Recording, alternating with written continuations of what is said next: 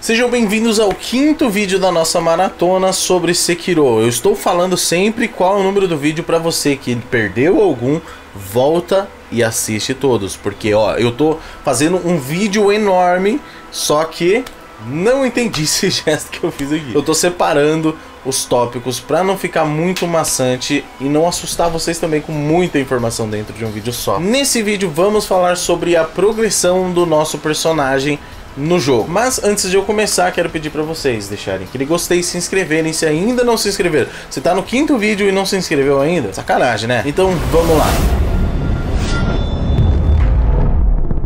Então tá, como que funciona a moeda do jogo. Na série Souls temos as Souls, na Bloodborne temos os Blood Echoes, é isso, né? Echoes de sangue. E agora em Sekiro, o que que vai substituir isso? Bom, vai ser diferente. Aqui vamos ter a experiência e vamos ter o ouro. Tem o dinheiro e tem a experiência separadamente. Também muito diferente da série Souls, esses itens não vão dropar nada quando você morre. Você não perde experiência, não perde dinheiro quando morre. Então, isso vai evitar com que você precise morrer e recuperar suas coisas. Não vai ter nada para recuperar. Só que quando você morre, ainda existe uma penalidade que não foi revelada. De acordo com o Miyazaki, ela é única, completamente única e é muito mais pessoal do que nos outros jogos.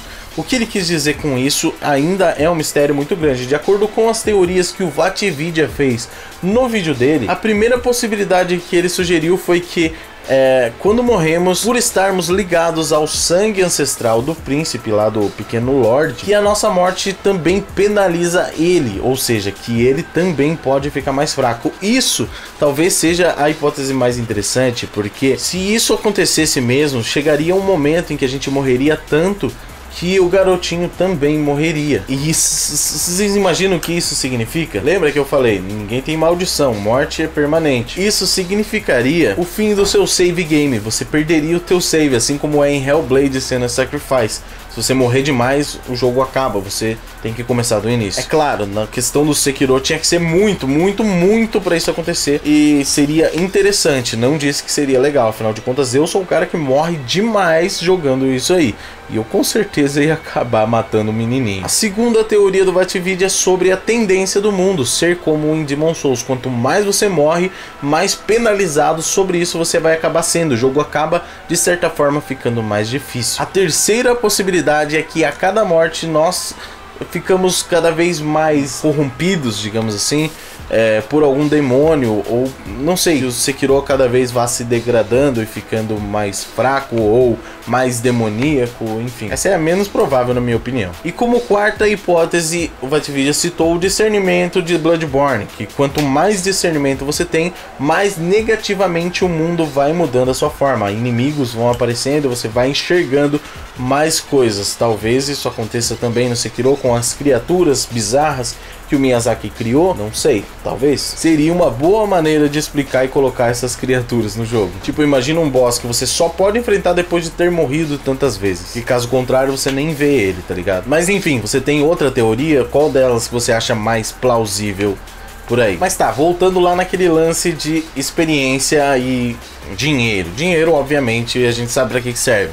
Mas a experiência, a gente vai matando inimigo, ganhando experiência, enchendo uma barrinha, que a cada vez que enche, ao invés da gente ganhar um level, a gente ganha um ponto de habilidade para ser usado numa árvore de talentos, uma árvore de skill. Essa árvore é dividida em três categorias. Três categorias. What the fuck, mano? Três. Shinobi, Samurai e Prosthetic, que seria sobre não é a próstata, não é a próstata de ninguém. É sobre as próteses que a gente usa. Essa árvore de habilidades vai ter tanto habilidades ativas quanto habilidades passivas. Para quem não sabe a diferença, passiva é aquela que age sem você fazer nada, ativa é aquela que você tem que fazer algum comando para ativar aquela habilidade. No vídeo do Vatvid ele deu alguns exemplos sobre essas habilidades, como por exemplo na aba Shinobi, uma habilidade ativa é um wall jumping, aquele que você bate na parede e pula mais. Tem alguns trechos que você vai ter que fazer isso aqui para subir em algum lugar. E um exemplo de habilidade passiva é aumentar o dano dos seus ataques em stealth ou ataque crítico. Ou seja, o Shinobi é uma parada um pouco mais evasiva, um pouco mais estratégica ou até mesmo voltada para o stealth, relacionada a movimento e etc. Como exemplos na aba Prosthetic, que são da prótese, a gente aumenta, por exemplo, como habilidade ativa, combos das, com as nossas próteses, como quando você joga Shuriken e consegue dar um dash para frente logo em seguida, ou quando você usa o Flame Vent e imbui a sua espada com fogo logo em seguida.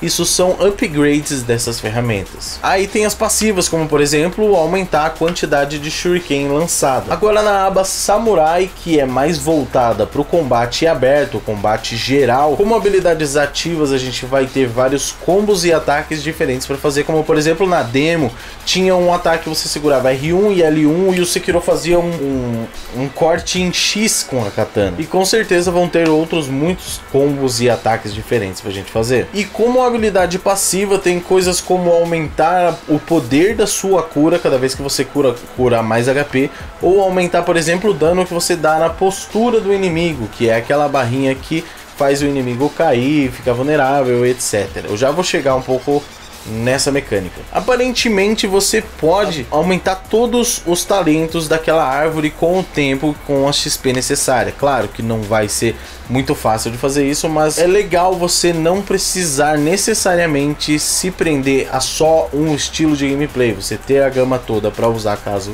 que pode ficar overpower, pode, mas se trata da From Software, eu acho que não. Matando inimigos a gente também consegue itens de crafting para poder mudar as ferramentas para poder melhorar elas. E matando mini bosses a gente dropa itens chamados Prayer Beads, que servem essencialmente para a gente aumentar, por exemplo, a quantidade de HP que a gente tem permanentemente, ou a quantidade de postura também. Esses pontos de habilidade que você ganha, você vai usar eles nos ídolos do escultor, que são basicamente as bonfires de Sekiro, ou possivelmente, isso não ficou muito claro, você só vai poder melhorar essas habilidades, essas paradas no templo. Peraí, mas que templo que eu tô falando? Vamos falar sobre ele no próximo vídeo, tá bom? A gente se vê lá.